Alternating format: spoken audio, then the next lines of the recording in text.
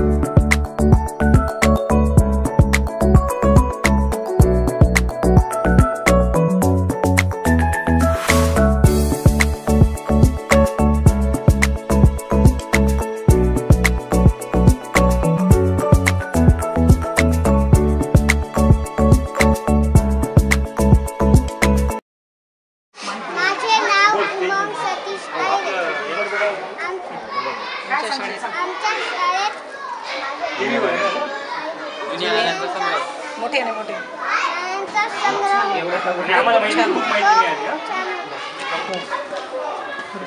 आज दिनांक दहा जुलै दोन हजार एकोणावीस आज आमच्या ब्राह्मण जिल्हा परिषद ब्राह्मणगाव शाळेमध्ये Shivshambhu friend circle group of Brahmangaon आणि अमेच्युअर ग्रुप ऑफ सटाणा यांच्यातर्फे नाणी आणि नोटा जुन्या नाणी यांचा संग्रह यांचं प्रदर्शन भरवण्यात आलं. आणि आमच्या जिल्हा परिषदच्या लहानशा मुलांना खूप छान अशी माहिती मिळाली. मयूर जाधव याचा हा उपक्रम अतिशय स्तुत्य आणि सुंदर आहे. लहान मुलांना प्रेरणादायी आहे.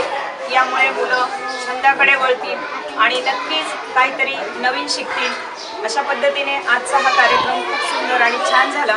मयूर जाधव याचे खूप खूप अभिनंदन. या कार्यक्रमाच्या निमित्ताने आमच्या मुलांना माहिती दिली. प्राथमिक शाळा ब्राह्मणगाव. या शाळेमध्ये आज दिनांक दहा जुलै दोन हजार एकोणावीस रोजी